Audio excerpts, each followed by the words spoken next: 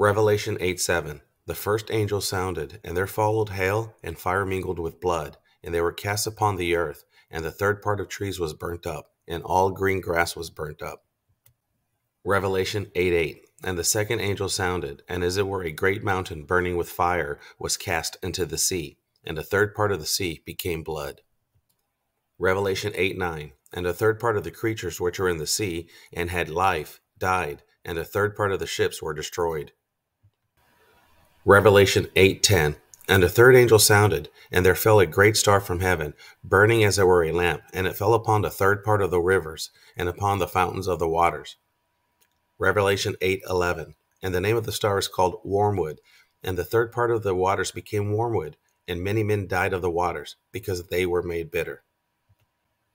Revelation 8:12 And the fourth angel sounded and the third part of the sun was smitten and the third part of the moon and the third part of the stars. So as the third part of them was darkened and the day shone not for a third part of it and the night likewise.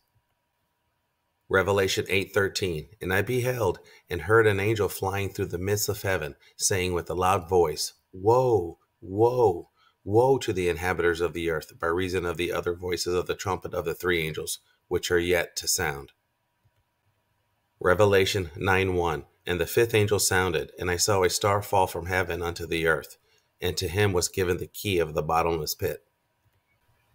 Revelation 9 2 And he opened the bottomless pit, and there arose a smoke out of the pit, as the smoke of a great furnace, and the sun and the air were darkened by reason of the smoke of the pit.